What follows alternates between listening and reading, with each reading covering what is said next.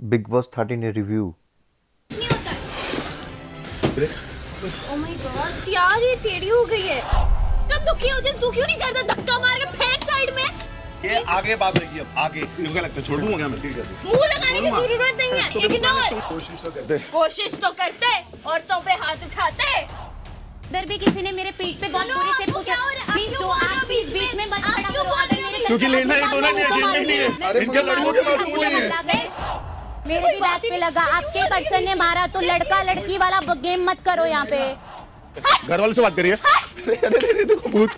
यार ये क्या आकर जहाँ गलत है गलत बोला कर जहाँ सही उसकी लड़ाई उसको लड़ने दे अब तू गलत कर देती है उसको कहा गलत किया मैंने नहीं, नहीं, उसको? नहीं, नहीं, तुम- तुम- उसको लगी थी यार यार लेकिन तू टारगेट लगती है को टारगेट मत बना उनके बोलने का मतलब ये नहीं तू क्या बोली मैं टारगेट बना रही जब वो तुझे बोलते तब बोला कर आसिफ आसिफ आसिफ लाइक सीरियसली मैं खड़ा हूँ अबे मुझे सबके सामने ਰਸ਼ਮੀ ਐਂਡ ਡੈਵਲਿਨਾ ਦੀ ਰੀ-ਐਂਟਰੀ ਨੂੰ ਦੇਖ ਕੇ ਹੈਰਾਨ ਹੋਏ ਸਿਧਾਰਥ ਸ਼ੁਕਲਾ।